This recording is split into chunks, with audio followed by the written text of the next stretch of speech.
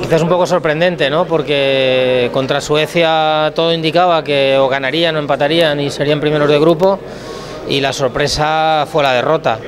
Probablemente les faltó algo de tensión, eh, pero eso yo creo que revela muy bien cuáles son las dos caras de Francia. Por un lado, mucho talento, sobre todo en ataque, eh, mucha voluntad de jugar el balón. Yo creo que esta Francia de Laurent Blanc quiere ser muy española. Y por el otro, un equipo al que quizás este torneo le llegue todavía un poco pronto, que está en construcción, que es muy joven, con el Snarri, con el propio Benzema.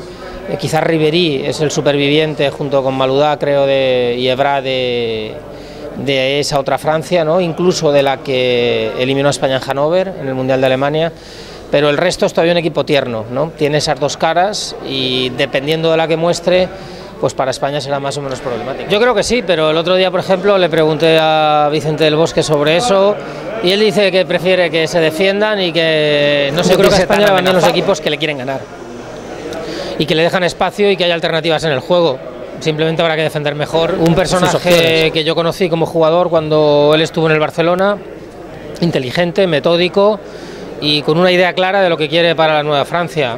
A mí me parece un, no solo un seleccionador, sino que es una especie de director técnico interesante para la Federación Francesa y que espero y celebro que el proyecto que tiene ahora llegue a buen puerto más allá de esta Eurocopa, ¿no? que no sea a costa de ganar a España, pero seguramente en el Mundial de Brasil vamos a ver una Francia que es la actual más cuajada y todavía mucho más mejorada. Me supo muy mal esta polémica que hubo sobre el asunto del racismo o el no racismo por eh, la propuesta que hizo de crear unos cupos que protegieran al jugador blanco en, la fase de formación, que yo creo, por lo que sé, que tenía simplemente una intención técnica, que era que en las eh, selecciones que se hacen en categorías inferiores, eh, muy primadas por, por, el rendimiento físico de los jugadores, pues evidentemente los chicos negros llegan un poco ahí ya más formados que los blancos y él lo que quiere es no perder esas variables que le pueden ofrecer eh, esos jugadores descartados cuando verdaderamente cumplen su desarrollo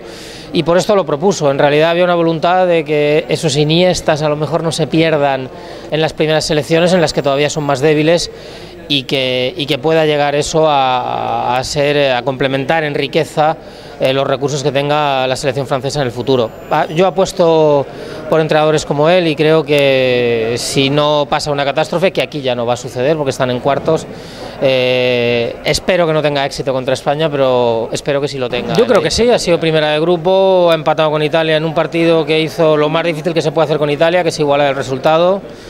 Eh, lo único que le está pasando a España es que si en la Eurocopa de 2008 sorprendió y en, los, y en el Mundial de 2010 eh, supo sufrir, eh, ahora le toca exprimir su perfil más competitivo y probablemente buscar alternativas. El otro día escuché que Lizarazu, ex internacional francés, campeón del mundo, campeón de Europa, decía que España necesita mm, buscar algunas cosas más, que la están estudiando mucho, que están sabiendo cómo contrarrestarla y yo creo que la búsqueda de alternativas es lo que corresponde al seleccionador. Ya tenemos jugadores como Navas, como Fernando Llorente que las ofrecen, pero quizás hay que dar una pequeña vueltecita sin variar el estilo y para saber jugar esos partidos que van a ser más difíciles.